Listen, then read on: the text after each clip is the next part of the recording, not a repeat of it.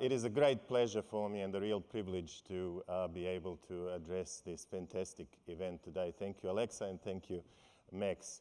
Uh, this will be an opportunity for me to share with you some insights into this topic of digital health and also our successful collaboration with AWS. My name is Zoran Bolevich. I'm the Chief Executive of eHealth New South Wales, and we are the Digital Centre of Excellence for New South Wales Health, Australia's, Australia's largest public health system. New South Wales Health is a truly world-class health system. It is also a large and complex organization with more than 160,000 staff working across 228 hospitals and providing uh, some critical healthcare services to 8.2 million residents of New South Wales.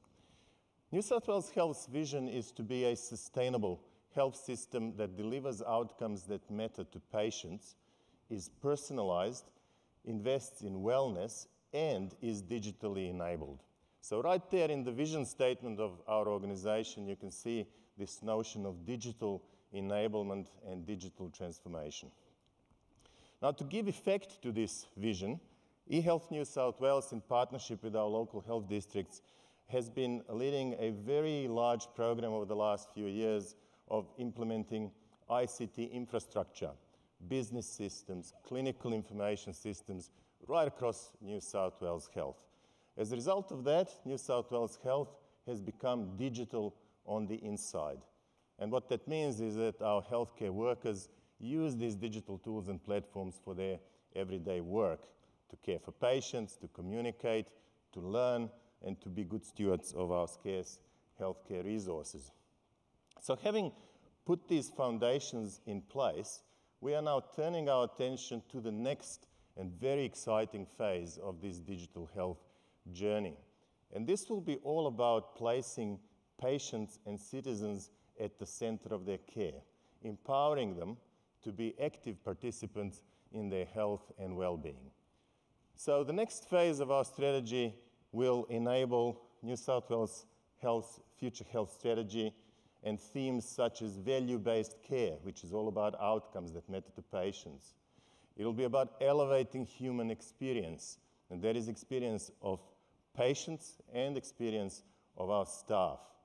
We will also see increased uptake and adoption of consumer facing digital health solutions, such as virtual care, think video consultations, remote monitoring of chronically ill patients in their homes, or our world leading telestroke service, which is saving lives across the state.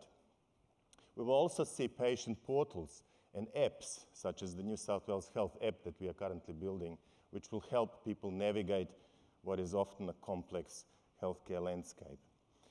We will see advances in analytics, especially real time analytics, including data captured from smart devices, and also greater application of AI in health, which we're already seeing in certain areas like diagnostic imaging.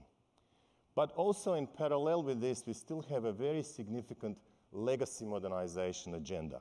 And this is where the cloud migration is playing a key role, along with adoption of API enabled platforms and interoperability standards, because interoperability is a big challenge in health. So, let me tell you a little bit about our cloud journey so far. Before 2018, our cloud adoption was small scale, bespoke, usually to do with back office systems. But in 2018, we started a significant program of critical infrastructure refresh to address aging hardware in our government data centers. We made a conscious decision at that time that we would adopt cloud as our primary and default technology going forward. And from that point on, we have started reducing our investment in replacing on-prem hardware and really amplified and accelerated migration of our systems to the cloud. To do that, we've created some foundational services. We created a cloud services team within eHealth, which has gone from strength to strength, and some of the members are here today. You can talk to them. Invested in training and development of our staff, and then started migrating, and in some cases, Australian first migrations of some clinical information systems, which we are very proud of. And then, of course, in 2020 and 2021, we had to rise to the challenge of enabling COVID response. And this is where really the cloud uh, and its power in terms of agility and resilience uh, enabled us to very quickly scale and meet the needs of our amazing frontline clinicians as they work through the pandemic response. This year we have reached a milestone of about 30% of our workloads being um, on the public cloud. Another milestone we're very proud of is uh, our uh, new enterprise data lake hosted on AWS. Uh, this is a centralized repository of a vast amount of structured and unstructured data from multiple systems, corporate and clinical. Data is extracted in real time without performance impact on those operational systems, which is very important to us. It is there in the raw native format and is really a platform upon which our amazing analytics teams all around the state will now be able to create analytics products and services to solve real problems in terms of safety and quality improvements, better healthcare planning, and also innovation and research, including the use of AI. And you can hear more about this later in the program uh, from the team who is actually uh, running this project. We're also systematically capturing and measuring benefits of our cloud adoption. And as you can see on this slide, we're already accruing some really great benefits in terms of cost avoidance, tenfold increase in speed of deployment, uh, also productivity gains, as well as reduction in unplanned uh, outages and uh, maintenance window. Now, technology is only part of the answer.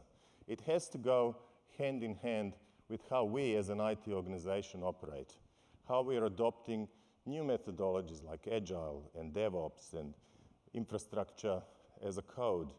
So we started investing a lot in actually training and developing our staff so that they have the skills and competencies for the future. In partnership with AWS, we've developed CloudStream of our eHealth New South Wales Digital Academy, and more than 700 staff have already gone through this uh, program.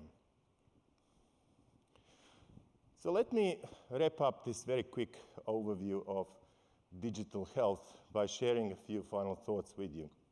We are hugely excited about the future of healthcare and the future of digital health. And there is no doubt in my mind that healthcare reforms and modernization in this country and around the world will be underpinned and enabled by digital, by digital adoption and digital technology. In turn, we have to enable that kind of a transformation through deep engagement and partnership with the community, with healthcare professionals, and with industry. So all of us will have a role to play in this process. Digital transformation of health also will depend on the ability to adopt and leverage the power of the cloud. Health IT is on the cusp of becoming a cloud enabled and patient centric digital health. So let us all work together to accelerate that transition. The future of health depends on it. Thank you.